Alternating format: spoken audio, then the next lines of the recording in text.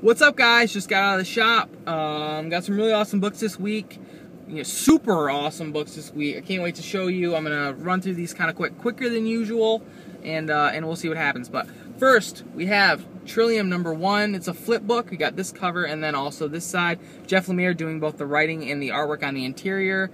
His uh, his art style is very unique, and it's an art style that I enjoy quite a bit. I'm trying to find you guys a cool page here.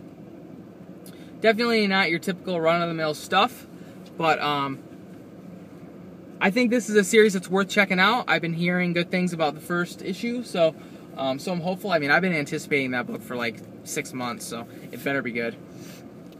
Next, we have Abe Sapien number five. Uh, Abe's on the run from the BPRD, being a badass all by himself. The interior artwork in this book is is cool, and also uh, the story's been has been interesting. Abe's my favorite BPRD character, so of course I'm gonna pick this up. But uh, definitely worth checking out. It's only on issue five if you're looking to catch up. And the story's been uh, been very very interesting. And then finally, as far as independents go, we have Helheim number six. Cullen Bunn and Joelle Jones wrapping up the first miniseries. Uh, we've been led to believe that there are going to be more miniseries with Rikard in them, which is badass. The interior artwork in this book, I cannot. I feel like I talk about how awesome the artwork is in all of these books, but um, this one especially, Joelle Jones is, you know, so awesome. And her covers for these books are amazing. I would like to get get some signatures on some of these uh, Helheim covers. I think that'd be really awesome.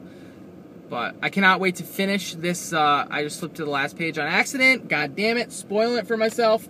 I cannot wait to uh, to finish that book. You know, wrap up this miniseries and also read you know whatever Cullen Bunn and Joelle Jones have in store for us in the future. And then moving on to DC, no Marvel this week, but that's okay.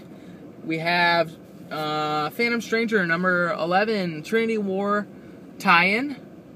I don't like the artwork on the cover, but the uh, art on the inside is different. I've been loving Phantom Stranger since issue 8, I want to say. And also, uh, I liked the first Trinity War tie-in, which was Constantine. I wasn't crazy about Pandora last week. So let's hope that Phantom Stranger gets it back on track. Next, we have Robert Venditti's Green Lantern, number 23. Hal seems to be getting his ass kicked.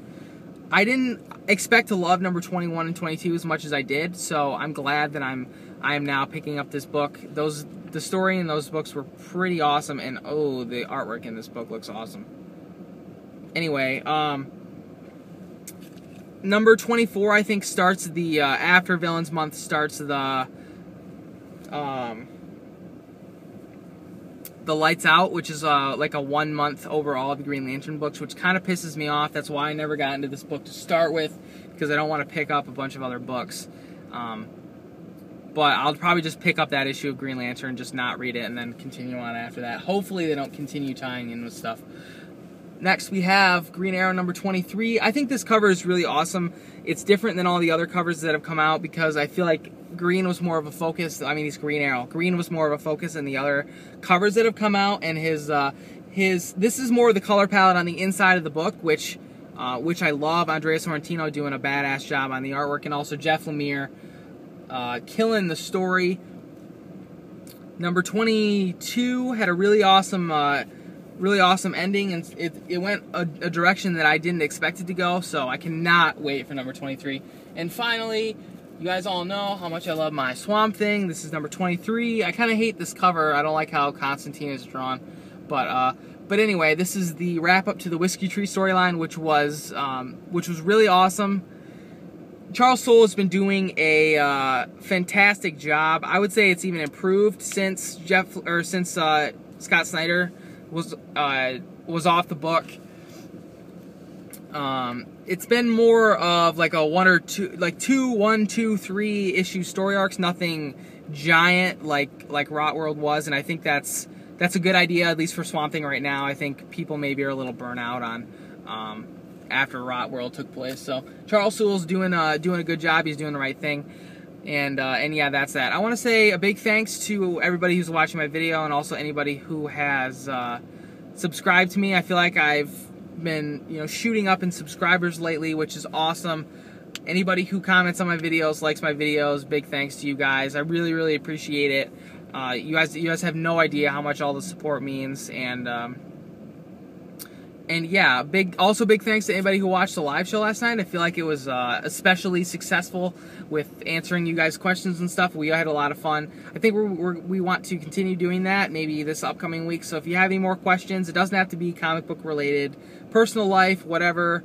Uh, whatever you want to ask, uh, go ahead and ask. Leave it on the live show last week in the comments, or leave it here. Send any of us a PM. Um, you know what to do. Any of those um, will work, and we'll uh, we'll try and answer your questions next week. But thanks for watching, and I will talk to you guys soon.